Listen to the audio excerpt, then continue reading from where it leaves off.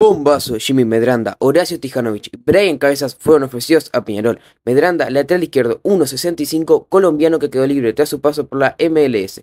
Tijanovic, extremo izquierdo 1.73, 27 años y que quedó libre tras jugar en Banfield.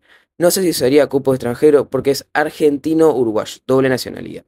Por último, Cabezas, extremo también izquierdo, ecuatoriano, ambidiestro y está libre tras su paso por el Atalanta de Italia.